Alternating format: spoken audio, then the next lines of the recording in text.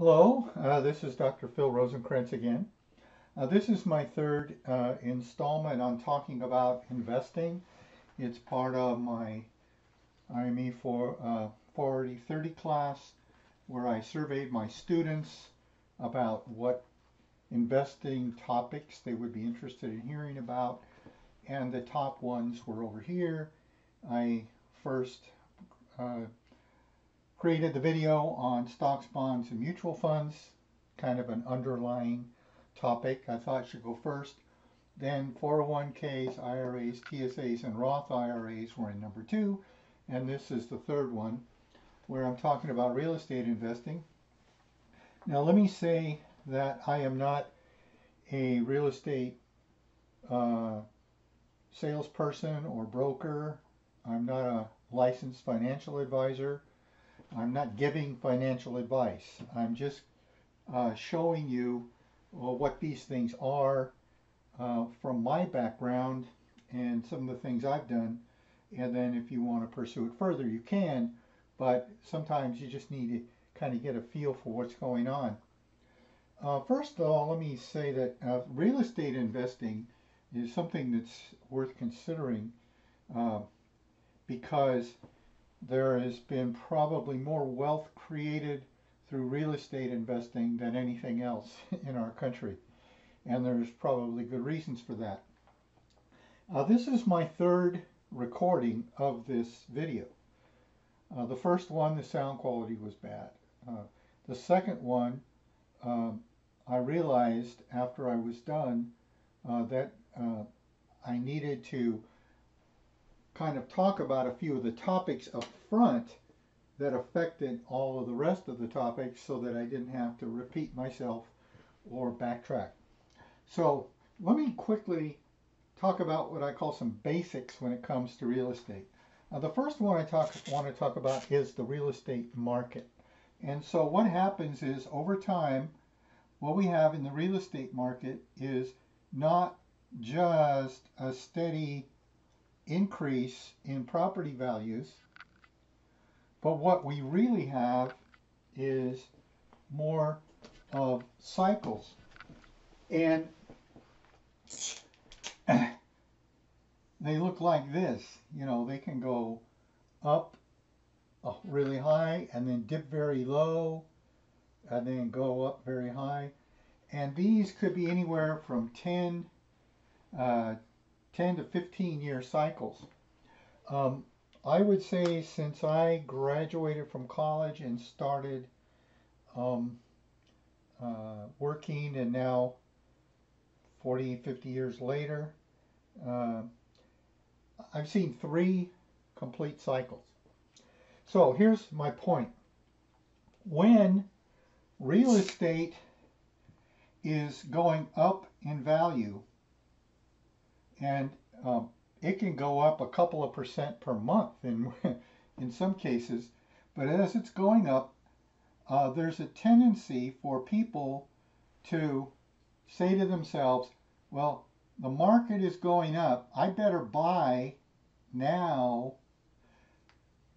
Because it's just going to keep going up and I'll miss my chance. And the the that's fine, but keep in mind that when prices are going up and people are buying and driving the prices up, you're in a seller's market. The seller can charge more, there's more competition to buy, and there are fewer good deals around. There are fewer um, properties that are sitting around um, that are undervalued. What I mean by that is this is a time when if there's a house that is in bad shape, it's a fixer-upper, um, there are people that are paying cash for those and buying them because they're trying to flip them and take advantage of the market. And if you are wanting to buy one, unless you have some kind of a uh, inside, you may not be getting those best deals. So that's uh, an issue. And then the other thing that happens is, let's say that you buy when you're up here, and then all of a sudden the market goes down, and now you're stuck with a piece of property where it's not, it may not even be worth what you owe on it over here. And so this is a seller's market. Now, when prices are dropping, then this is a buyer's market. And some stat strategies work fine um, because what you're going to do is buy when it's low and then hold on and eventually sell when it's high. And this is the time to buy property, right? If you know when it is. This concept affects how well a lot of these strategies work. So that's what I wanted to say about that. Um, I have bought properties in both of these cases. Um, I bought a piece of property once here, and when I went to sell it five years later, it was down here. Actually, I went to sell it three years later, and I had to wait for the market to come back. I had to wait two and a half years before I could finally sell it. Uh, the other thing I want to mention is I bought two properties down here in 2008 and 2009, and now they're up here. So anyway, that's the market issue. So that is something that you need to be sensitive to. Next, I want to talk about leverage. This is one of the big reasons why real estate is such a good investment. What is leverage? Basically, it's this. Let's say that you buy a $500,000 home. You put $100,000 as a down payment. This is your money um, that you put down and then then you finance through a loan, a mortgage, the other 400,000 and you're making payments on this loan every month. Most of that is probably interest, but you're making these payments. So now, let's say a couple of years later, let's say this property has appreciated up to 550,000. That's what it's worth now. And you sell the property for 550,000. In the meantime, maybe you've put uh, through your loan payments, you've gotten a little more equity in the property, but uh, let's ignore that for a minute because it's not very much. So you sell the property for 550,000. You paid uh, 500,000 for it. You get the your 100,000 back and you pay off the mortgage to the bank. So you've just made a $50,000 profit on a $100,000 investment.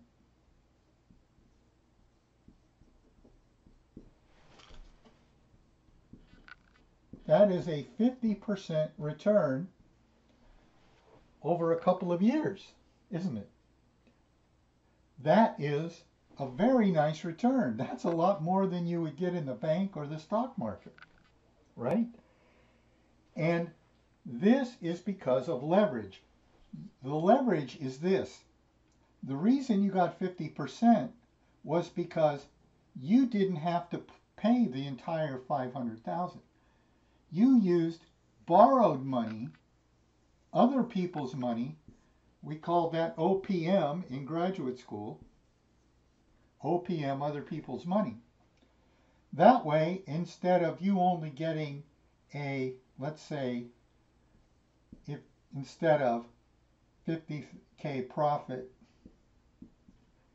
on 100,000, let's say you made the whole $500,000 down yourself, that's a 10% return, isn't it? But you only put in 100. So This is called leverage, using other people's money. Now that works when you have appreciation. In other words, when the market is going in the right direction. However, if you do this when the market's going in the other direction, you lose your shirt. And I know people that's happened to. So, well, probably all do. So that's leverage. Leverage is a big deal if you use it right. Um, the third one is tax issues. So there's a, some tax advantages uh, to um, rental property, for example. So let's say um, that you buy a property and uh, so you've made a down payment. I'm making a cash flow diagram here. You made a down payment, or whatever it was. I'll call it a down payment. And then you still have to make your loan payments, your mortgage payments.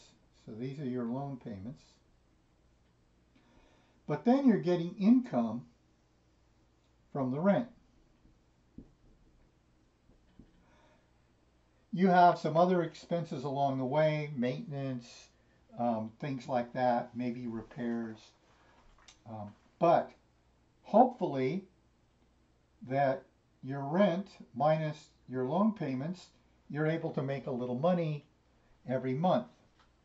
Now, as rents go up over time because of inflation, then you have a chance of increasing your monthly uh, profit from it.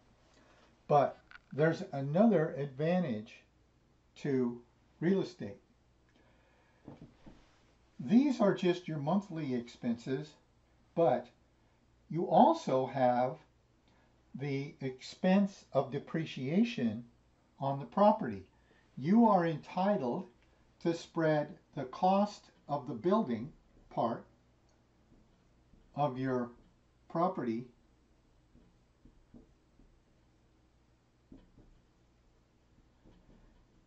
over a number of years, say 30 years, as depreciation. It's an expense of yours. And what that does is it adds on paper, it adds a cost. This is the depreciation. Well, I'm going to make it constant.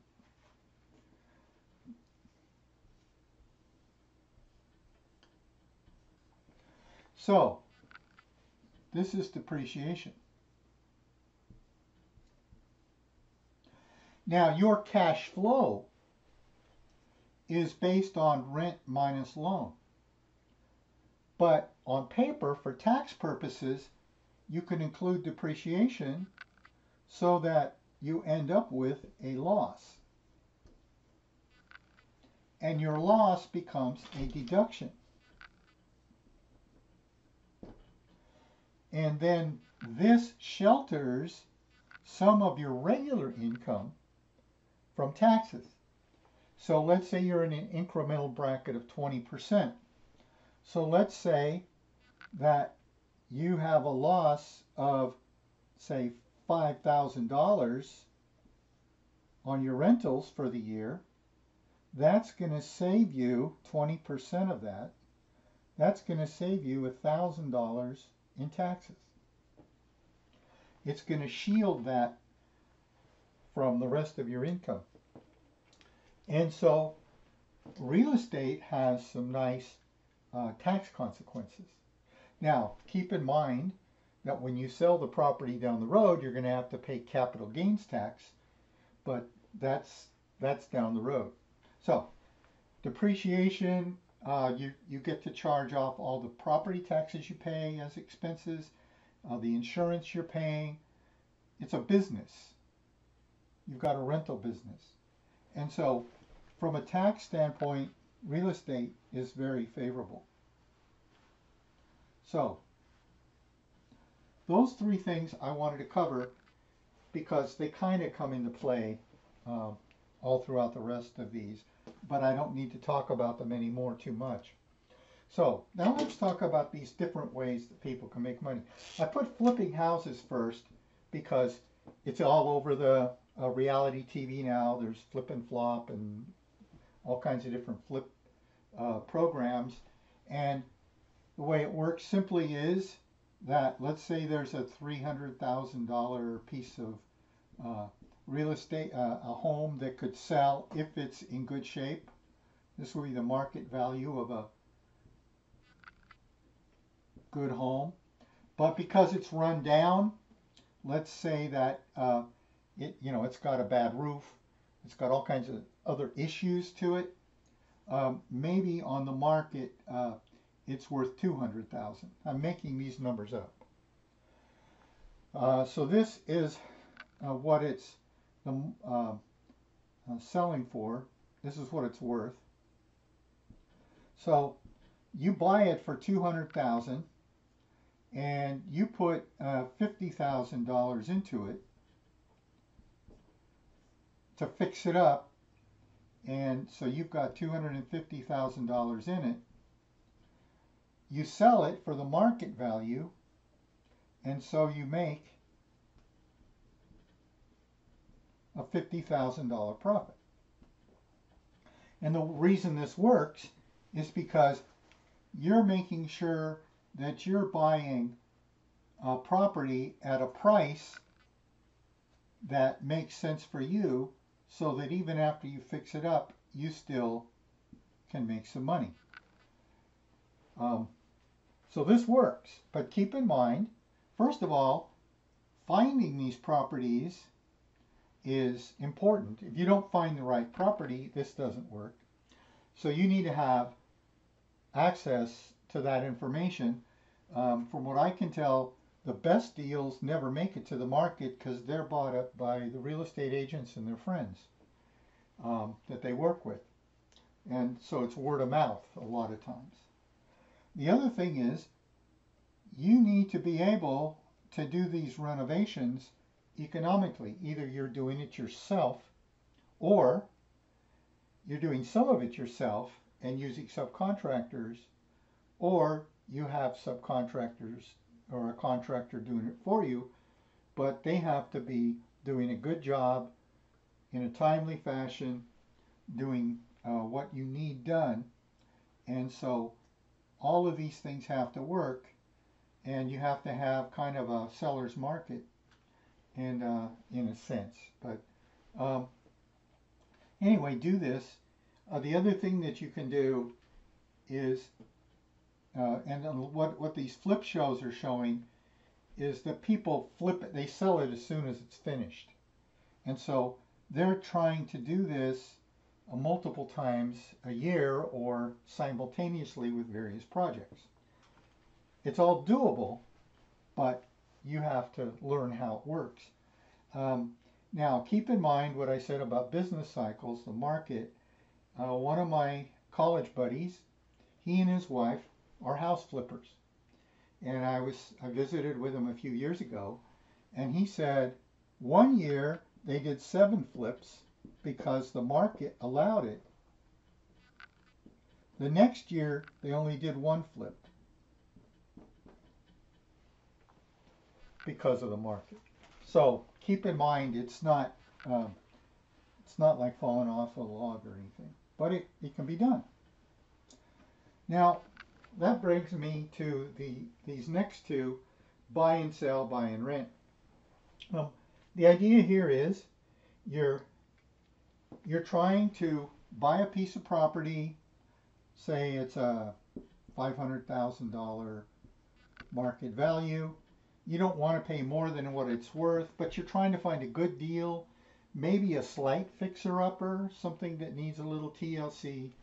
Um, but anyway, you're getting yourself into a property, and then um, in this buy and sell case, you're you're not selling it right away. You're not flipping it, and maybe you'll keep it for a couple years. Um, it'll appreciate in value. Um, you've rented it out.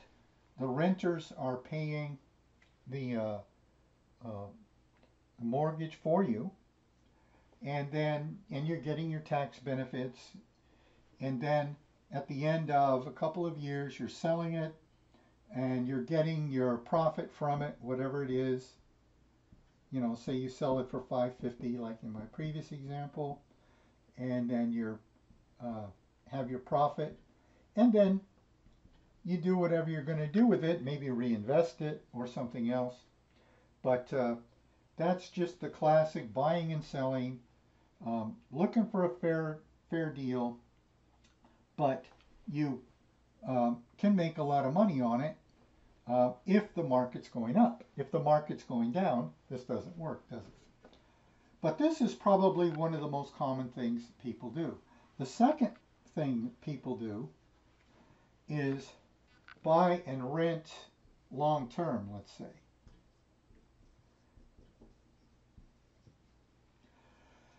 So it's the same scenario. They buy a piece of property, but they rent it out long term. In other words, 20, 30 years, whatever, forever.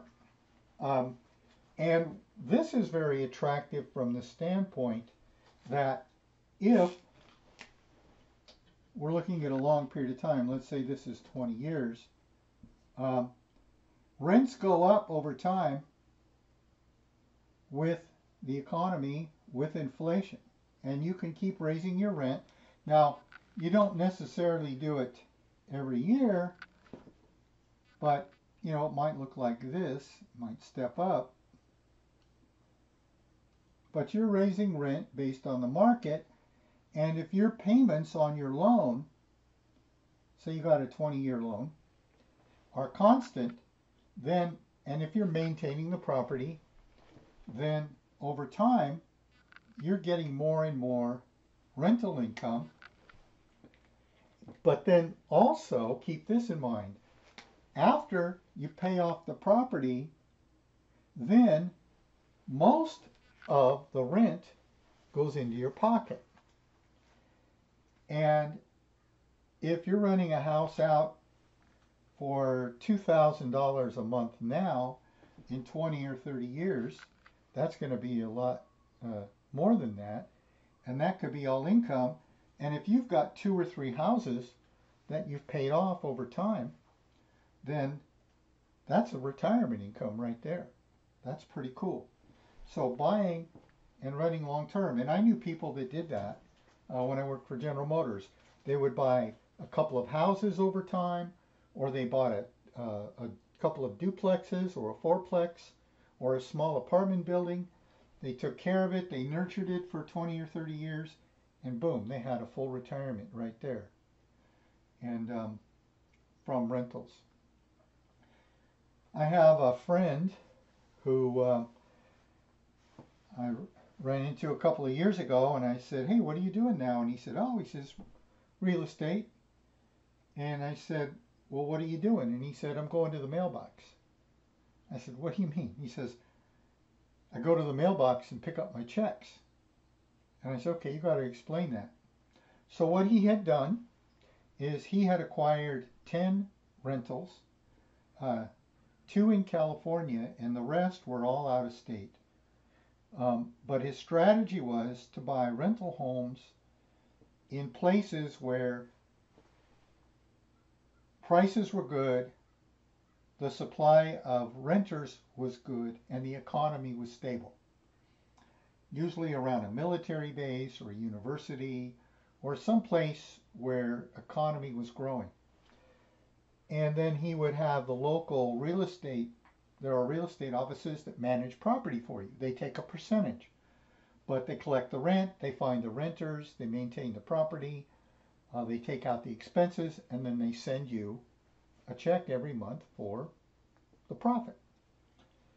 And uh, he, a couple of his houses he owned outright completely.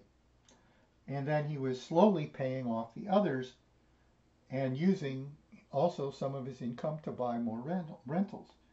But his goal was to eventually have 30 rentals. His goal was to go to the mailbox every day and pick up a check. And so he was basically doing that. Now, let me move on though. Uh, REIT. REIT. That stands for Real Estate Investment Trust. Now, you may want not want to get your hands dirty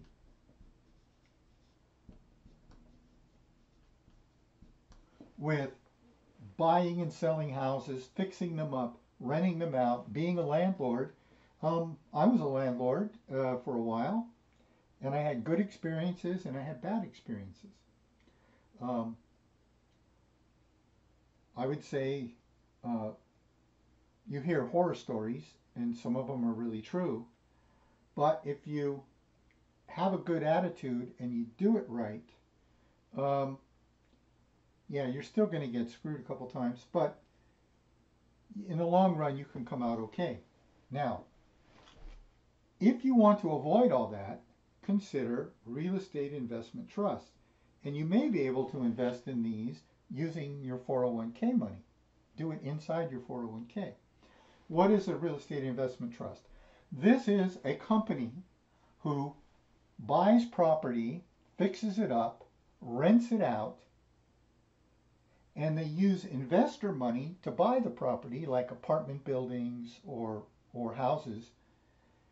And then uh, the profit then goes back to the investors.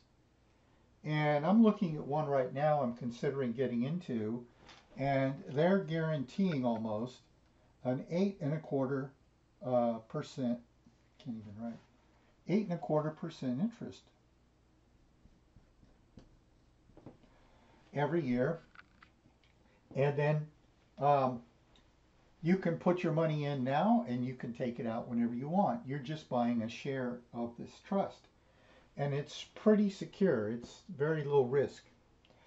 And so um, I don't, if you invest in that, then the only thing you have to do is when you pull your money out or when you get your annual dividend on it, you have to pay taxes on it because it's ordinary income.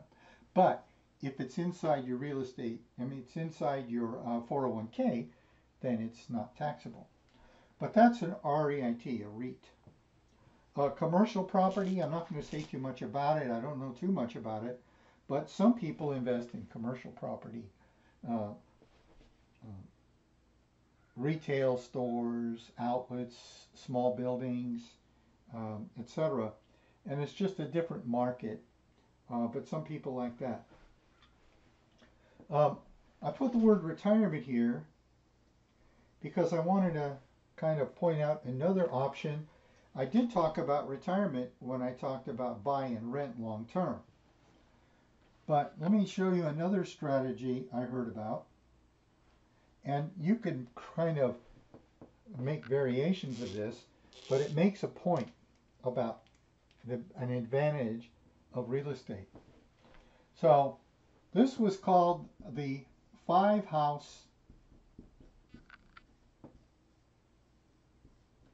retirement plan.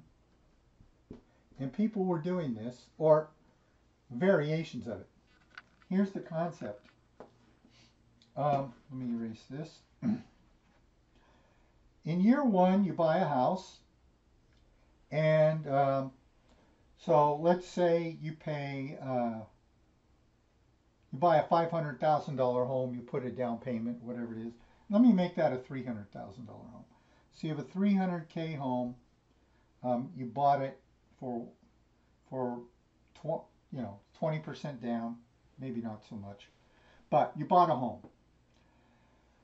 The next year you've saved up and you bought a second home. So you've got a, a second rental, then a third, then a fourth, and then in year five, you buy the fifth rental. Now, let me talk about how could you afford that? Well, let's say that you have a two-income family. Um, live off of one income and save the second income and buy houses. And I've known people that have done that. It's where you have two engineers that are married, or in one case, it was two pharmacists and they were just buying houses like crazy. And so here's what how this works. So this is year one, two, three, four, and five. Now, where does the retirement plan come into?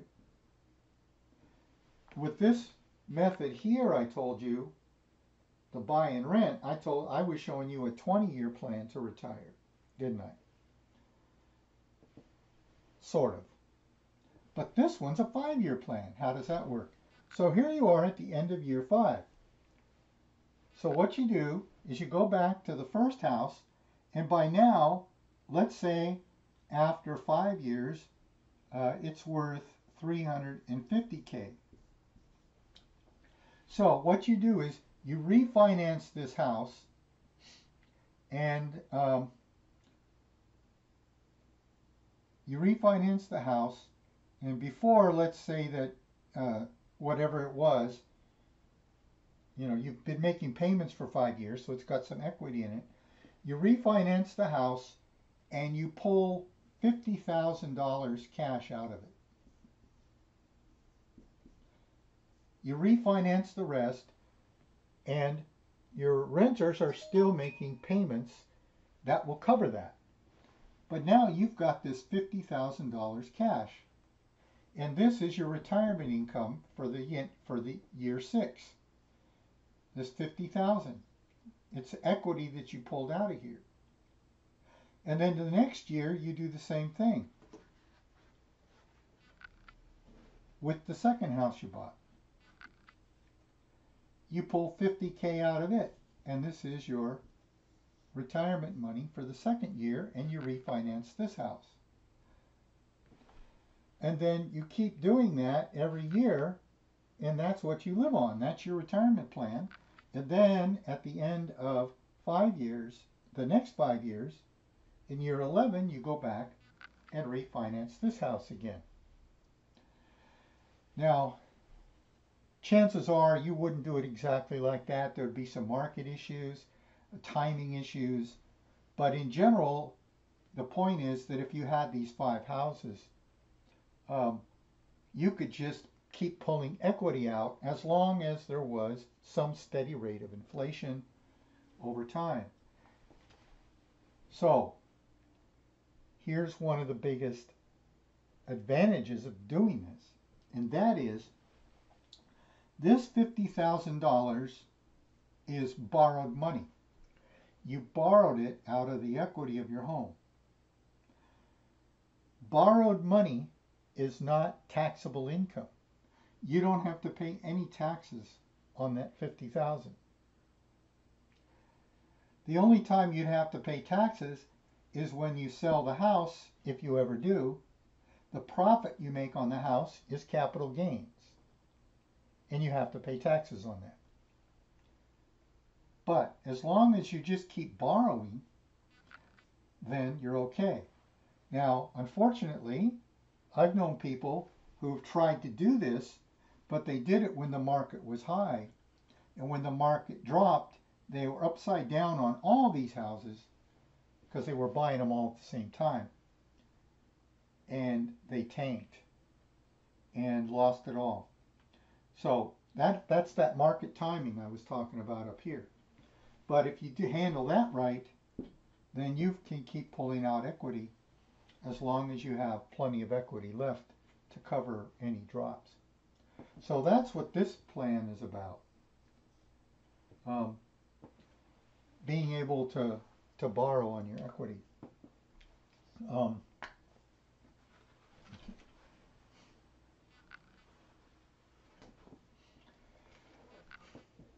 The last thing I want to point out is seconds. This is another idea for people that don't want to get their hands dirty. Uh, sometimes uh, when somebody's going to buy a piece of property, let's use my 500K example again, and the banks like to have 20% down payment. Why do they want 20%? That's so that if they ever uh, have to foreclose on the property, there's hopefully still a lot of mark uh, equity in the uh, property, a lot of um, a buffer between what they owe and what it's worth on the market. So um, 20%, but let's say you don't have 20%. Well, what you might do is you might have 10%, but you can borrow another 10% from as a second mortgage from somebody else, like a private party um, or somebody like that. Uh, not not usually from a bank, but a second mortgage, and then now you have the 20% down payment. So you're making your payments on your loan for the property, the 80% you borrowed, and then you're making a loan, a, a payment on the second mortgage.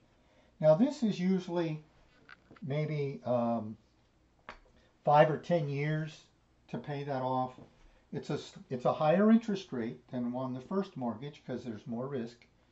It's a higher interest rate. And I did that once where I borrowed uh, about 10% uh, on a second mortgage for a rental.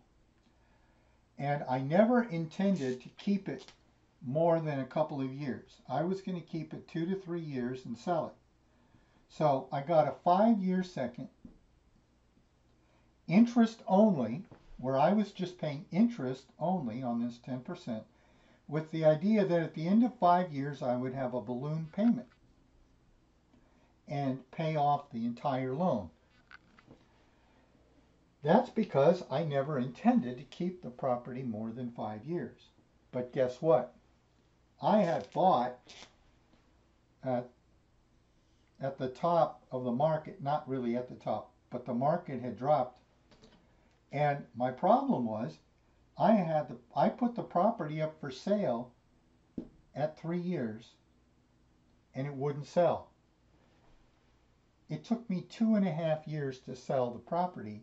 I made a I made a profit, but the five years came and I had to pay off the balloon payment. So I had to get that money from somewhere else, which I did, but it wasn't a good use of my money. Um, it wasn't pretty. But if you have money that you can loan out as a second mortgage, then you can make money on that. And if the people default on paying you, you might have the right to foreclose on their property and take it over. But let me tell you another advantage of a second mortgage because this happened to a friend of mine. He and his wife bought 20 acres of property in Rancho Cucamonga, California, many years ago. Their idea was that they could eventually sell it to a developer who wanted to build homes. So they they kept the property for a while. They sold it for a nice profit. but they carried a second mortgage on it. The person that had the that bought the property from them got sick, uh, and um, eventually died of cancer. But in the meantime, he quit making his bank payments on the property, and it went into foreclosure. And no, he didn't have any relatives or anybody that were going to rescue him from this so that they wouldn't lose their property. And it went into foreclosure. And so my friend had second position on the property and had the option of taking it over, catching up with the bank, you know, make the back payments and taking it over. And now he owned he did that and now he owned the property. Again, he had already sold it once and made a profit. When he sold it the second time, he made $4 million profit. So that's, that's because he had the second mortgage. He was able to do that. Now that is very rare. A lot of times people aren't going to let their relatives lose millions of dollars. They're going to come out, you know, find some way to sell it or do something. But they didn't even sell the property. So he took it over. So that's second mortgages. Now, there are other ways to make money, um, but keep in mind these these three things I taught you as you're working on some of this stuff. Um, so with that, I'm going to try and end, but I'm going to end with a shameless plug, and that is um, I want to mention uh, my book that I wrote and published a few months ago, and Letters from Uncle Dave, um, the 73 year journey to find a missing in action World War II paratrooper. Um, this is the story of my uncle, Staff Sergeant David Rosenkrantz, who was missing in action in World War II. Family never knew what happened to him. I saw the movie Saving Private Ryan in 1998 and said, gee, I wonder what I could find out about my uncle. What happened to him? So this is about a 20 year quest to find out what happened to him. Eventually, uh, he his remains were found. I did find out what happened to him, and it's in this book. And um, it's an interesting story. It's got 49 letters in it that he wrote home that I was able to collect. And uh, it makes a great gift for your friends and relatives and kids that are interested in this stuff or need to learn about World War II. Uh, it's available from Amazon, but if you go to philrosenkrantz.com, all one word, then that's the website for this book. So anyway, that's my shameless plug. Thank you for listening. And I hope this made sense and uh, good luck with everything. Thank you.